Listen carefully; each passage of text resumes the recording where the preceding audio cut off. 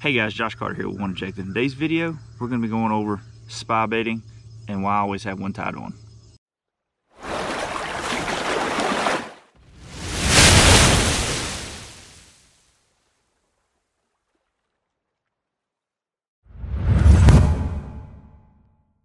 all right guys like i said in the beginning of this video we're going to be talking about spy baiting and if a lot of you guys don't know what spy baiting is it's a, a finesse style it's not a jerk bait it's not really i guess you can consider it somewhat of a crankbait. I don't i don't know what you would consider it as and when it comes to the hard bait lineup but um, it's a very versatile bait.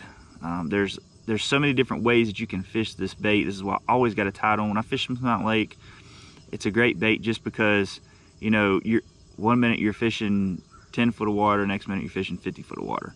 Um, you can go over tops of brush piles with this bait and kind of let it now I will say like in the video here this doesn't just suspend real slow like a jerk bait does you know or some sink slow sinking uh, or some jerk baits just flat out suspend or some float up.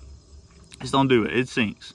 And it sinks at a pretty good clip but what I do like what Spro did with theirs is it's got that real good flat bottom, but it also just, it sinks like this. And then when you're cranking it, when you're pulling it in, like I say, you got your, your little propellers here on the front and back. Uh, and like this one here, it's got the red ones. I like that. I love red in a bait, but it also has this little lip here. And that helps cup water a little bit. It helps pull it down a little bit. Or, you know, it also gives it a little bit of a, of an action like a crankbait, but not a lot like, you know what I mean? It don't give it that wobble like that. But it gives this bait a lot of action when it's when it's coming down. And like you see in the video, uh, as it's coming through the water, it kind of it kind of rises like this. But like I say, as soon as you pause it, that thing's gonna it's gonna just come on down. And as it's coming down, the, the props are spinning a little bit. So, but also another one I like to use. This one's by Arashi. Um, this is this was actually the first ones I started throwing. Uh, this is the 80, the Arashi 80 or Arashi 08, sorry, and it's got it's got a good a good fall rate too. Actually, I like this one's got a little bit slower fall rate than the Spro. Now I have not used the uh, um, the the Duo or, or, Duo or whatever you call it, the other brand there that actually really got this started. I haven't really used those. Um, but so far I have loved using these and like I say around Smith Mountain Lake you got a lot of docks you got a lot of uh, brush piles you got uh, a lot of rock bluffs stuff like that. So these baits here I always keep on especially coming into the fall. Right now we're in September. You're getting into that transition area. Uh, we actually had a, a, good cool night. It was 50 it was 59 degrees. So the fish are going to start doing that move back into the creeks. And you know, a lot of it too is the light, uh, it's getting darker quicker. So they know it's time to move. They know it's time to start moving back there. So these baits here with the bait fish moving back there, they're staying in the middle of the creeks.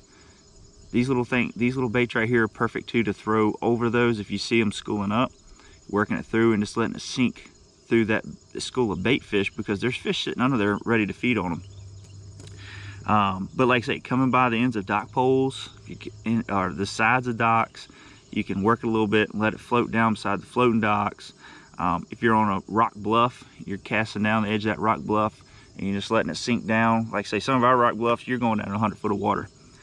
I don't let it sink that far, but you know, into the 20s and 30s, I'll, I'll let that thing sink right on the sides of those rock bluffs. So this is a very versatile bait. I always have one of these tied on. Uh, pretty much the only time I don't is probably going to be early, early spring uh, when I'm mainly cranking and, and jerk baiting and, and stuff like that. But other than that, summer through the fall and in the winter, I have one of these baits tied on and it does really well. Now my setup is just kind of like all my other finesse setups. This is a, a small finesse bait. Uh, it don't you don't want to go with heavy line because for one, it messes up the fall of the bait. Uh, if you want a little bit faster fall, you can go a bit bigger line, but I like going with a smaller line. Um, but this is eight pound InvizX fluorocarbon. Uh, always got it on braid, smackdown braid with an FG knot. And then I'm just throwing it on my finesse jig rod.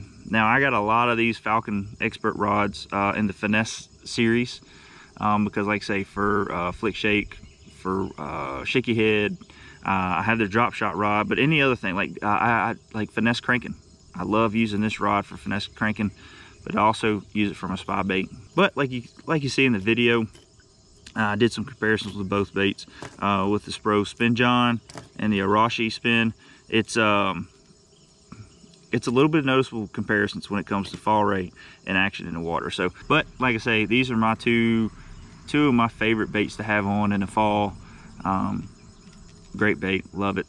So um, take your choice. There's a lot of other options out there on the market. Not saying these are the best ones on the market, but these are the ones that I really like to throw. So make sure you check them out. I have the links in the bottom of this video.